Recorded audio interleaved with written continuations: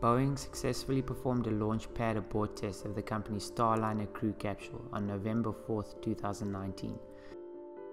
8, 7, 6, 5, 4, 3, 2, 1, 0.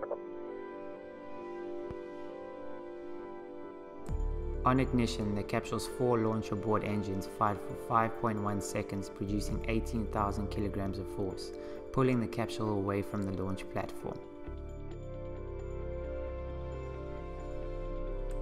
Nearing its apogee, the capsule performed a pitch around maneuver to reorientate itself for the final stages of the abort.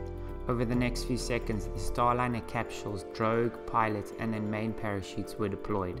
During this phase, one of the capsule's pilot parachutes sheared off early, ensuring its main parachute could not be deployed.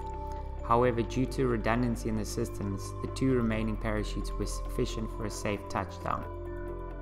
Soon after the main chute deployment, the service module and heat shield were jettisoned and the capsule's airbags inflated. The airbags ensure the capsule remains afloat following an ocean splashdown when returning home from space. Today, however, the airbags provided a little bounce as the capsule touched down safely on the desert floor.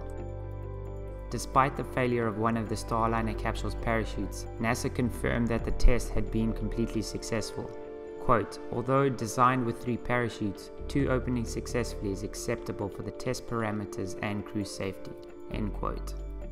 With the successful completion of the pad abort test, Boeing can move forward with the main orbital test flight of Starliner. The flight is expected to be launched aboard an Atlas V on a mission to the International Space Station on December 17.